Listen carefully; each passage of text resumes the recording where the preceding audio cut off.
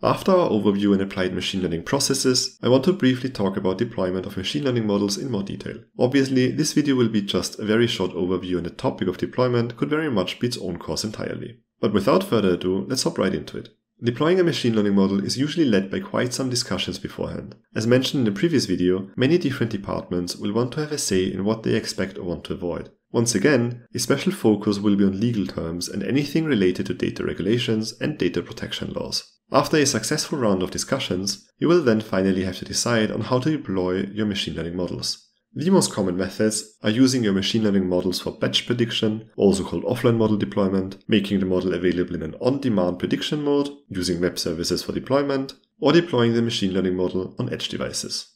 Now, this selection does not include every possible method of deploying a model, but it should give you a good idea of what can be done.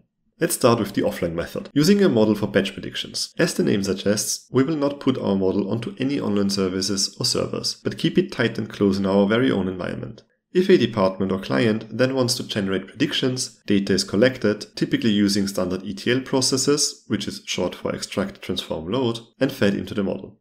The generated predictions are then processed according to the client's needs and transferred back. This method might seem slow for the user, and well, it also kinda is, but the main benefit of this method is that you can use simple models as well as highly complex models that require a lot of computational power.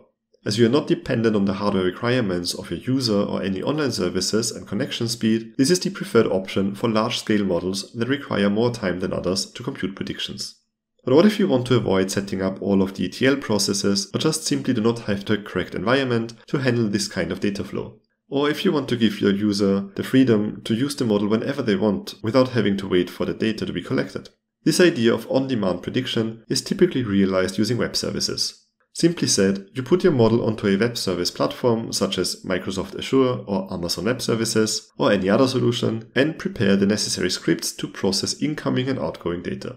A user can then simply input some data into the web service and wait for the response of the model. Depending on the complexity of your model, the user might have to wait a bit for the prediction result. But as web services also come with some latency, it is best to not use the biggest and most complex models for this kind of service. In some cases, it might even be required to send a response within a given amount of time to be competitive, so keep that in mind. We have moved on a step closer to the user, but we can go even further. Deploying machine learning models on edge devices is as close as we can get. Any computation of the prediction is done on the edge device itself, which can be any Internet of Things or mobile device.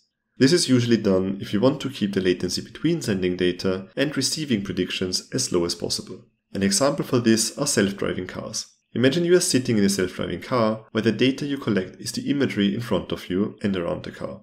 If you now need to first send the data to some web service and wait for the response before your car decides whether or not to take a turn, it could potentially cause quite some inconvenience. Therefore, the computation is usually done on a chip built into the car itself. The low response time, however, comes with even more restrictions on computational power. So you need to make some decisions on available computational power for the edge device in relation to its cost and how much is actually needed for the task at hand. In general, you will need to think about certain topics when deciding which deployment method is the best for your model. Some of them are the frequency of predictions, meaning how often will a user ask for a prediction, and how much time a prediction takes to compute and deliver to the user. Another important aspect, of course, is also how long the user is willing to wait. Together with hardware and infrastructure requirements and all of the aspects related to computational power, you will then have to look at the advantages and disadvantages of available deployment methods and find the best fit for your case.